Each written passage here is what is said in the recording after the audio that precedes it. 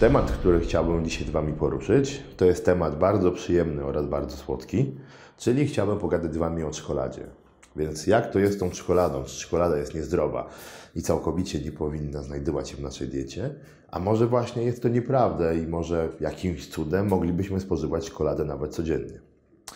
No i właśnie, okazuje się, że sama w sobie czekolada nie jest zła. I nawet jeżeli byście zjedli odrobinę prawdziwej czekolady każdego dnia, to uwierzcie mi, że nie jesteście w stanie w żaden sposób zakłócić ani swojej redukcji, ani swojego okresu budowania masy mięśniowej, ani po prostu swojego zdrowego odżywiania. Oczywiście teraz najważniejsze, co my nazywamy czekoladą. Większość rzeczy, które nazywamy czekoladą, są to wyroby czekoladopodobne.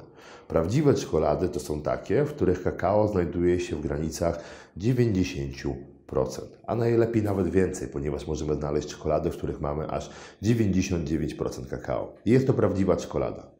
Taka czekolada jest nie tylko smaczna, ale również jest bardzo zdrowa i zawiera wiele związków, które są dla nas bardzo pożyteczne, a może nawet spowodować, że nasze efekty treningowe będą lepsze. I na przykład, jeżeli chodzi o czekoladę, czekolada zawiera tak zwane e, flawonoidy i na przykład e, katechiny czy epikatechiny. I tutaj sytuacja wygląda w następujący sposób, że mają one szereg właściwości. Na przykład to są bardzo mocne antyutleniacze, czyli e, nie dopuszczają, można tak powiedzieć, oczywiście w bardzo mocnym uproszczeniu, do niszczenia naszych komórek przez wolne rodniki. A jak wiemy, jakby jest to swojego pewnego rodzaju zagrożenie. Kolejna kwestia wpływają bardzo pozytywnie na nasz układ naczyń krwionośnych, ale również są plusy treningowe. Plusy treningowe są takie, że chociażby pozwala nam wytwarzać więcej energii, co jest bardzo korzystne dla osób przykład trenujących siłowo, ale również to większe wytwarzanie energii pozwala nam więcej energii spalać. Czyli możemy powiedzieć, że w pewnym stopniu wpływają na przyspieszenie metabolizmu. Czyli jak widzicie, spożywając taką czekoladę, możemy nawet wpłynąć pozytywnie na przyspieszenie naszych efektów. Oczywiście hola. E, odchudzać się możemy tylko i wyłącznie wtedy, kiedy mamy ujemny bilans kaloryczny. Jeżeli macie bilans dodatni, jeszcze jeść czekoladę, to po prostu będziecie tyć. Ale jeżeli wliczycie sobie taką gorzką czekoladę do swojego tak zwanego makrodiety, to jak najbardziej wszystko byłoby w porządku.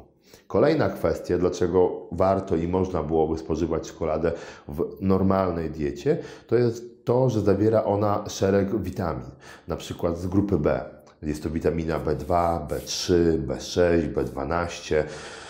Więc jak widzicie, troszkę tych witamin z grupy B jest. Dodatkowo ono jeszcze zawiera źródłem żelaza, czyli jak najbardziej warto byłoby wprowadzić nawet dla ludzi, którzy na przykład mają problemy z anemią. Wiele e, kobiet, które się odchudzają, mają takie problemy. Witaminy z grupy B są o tyle ważne dla sportowca, że pozwalają nam wykorzystać, przyswoić białka, tłuszcze i węglowodany. Możecie wydawać pieniądze na drogą dietę, najlepsze suplementy, a bez witamin grupy B nic się nie dzieje. Więc jakby bardzo istotne, żeby zadbać o odpowiedni poziom tych witamin. Kolejna kwestia, odpowiednia ilość tych witamin pozwala nam wytwarzać energii. Jeżeli zadbamy, żeby tych witamin z grupy B, które wymieniłem, było odpowiednio w naszej diecie, nie tylko poprawiamy transport tlenu w naszym organizmie, ale również powodujemy, że jesteśmy w stanie lepiej i korzystniej dla nas wytwarzać energię. Wszystko brzmi pięknie, wszystko bardzo fajnie, czyli czekolada zdrowa, super i tak dalej. Czy można ją jeść? Tak, jasne, można ją jeść. Wystarczy liczyć do bilansu kalorycznego. Ale jest jedno ale. Prawdziwa gorzka czekolada zawiera bardzo mało węglowodanów. Tam węglowodanów jest raptem około 7, może maksymalnie 10 gram na 100. Jest to naprawdę stosunkowo mało. Odżywki białkowe mają taką samą ilość, a przecież pijemy je i nie widzimy żadnego problemu. Jedyne co, zawiera ona tłuszcze głównie nasycone. W momencie, kiedy jesteśmy na redukcji, powinniśmy zadbać o odpowiednią proporcję kwasów tłuszczowych.